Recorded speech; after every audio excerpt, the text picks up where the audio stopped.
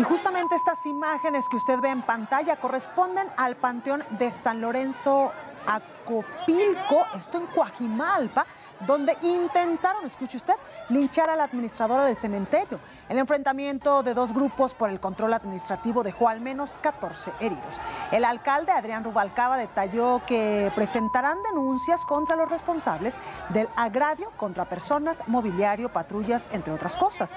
Cabe mencionar que 13 personas fueron trasladadas ayer al Ministerio Público por estos hechos. Y la madrugada de este lunes, una balacera en San eh, Miguel Topilejo, esto en Tlalpan, dejó 16 lesionados, entre ellos cuatro menores de edad.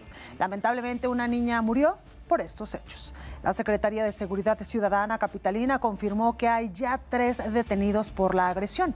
El enfrentamiento habría sucedido tras una riña en la fiesta patronal.